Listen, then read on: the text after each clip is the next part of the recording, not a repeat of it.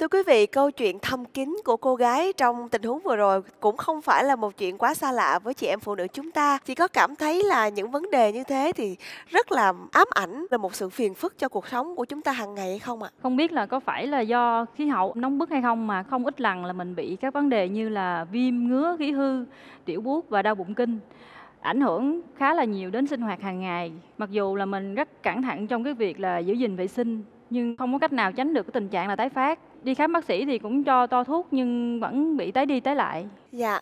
Bác sĩ ơi, bác có thể chia sẻ tại sao là các chị em chăm sóc vùng kính cũng rất là cẩn thận và chỉnh chu mà vẫn bị những cái vấn đề viêm nhiễm ám ảnh như vậy ạ? Viêm âm đạo do nấm cũng tương tự như tất cả những cái nhiễm trùng ở đường âm đạo viêm âm đạo do vi khuẩn hoặc là do ký sinh trùng Trichomonas thì đó là những cái viêm nhiễm phụ khoa rất là phổ biến và nó thường tái đi tái lại rất là nhiều. Mình uống kháng sinh chừng một bữa, hai bữa cái mình thấy nó hết, cái mình quăng đi. Bị tái trở lại, cái mình mua tiếp mình uống. Một hồi cái là nó gây ra loạn khuẩn ở trong các cái vùng như là đường ruột hoặc là trong âm đạo của mình. Và cái tình trạng loạn khuẩn đó nó sẽ dẫn tới là tất cả những con lợi khuẩn hay chúng ta còn gọi là lactobacilli, thường là nó sẽ bị mất ưu thế ở trong những cái vùng, ví dụ như ruột chẳng hạn, gây ra tiêu chảy, hoặc là nó sẽ mất đi ở trong âm đạo và nó gây ra cái sự nổi trội lên của các cái vi khuẩn có hại. Ta gọi là hại khuẩn đó thì nấm hay là trùng roi hay là những cái vi khuẩn ở trong âm đạo nó sẽ ưu thế hơn và nó sẽ gây ra các cái triệu chứng.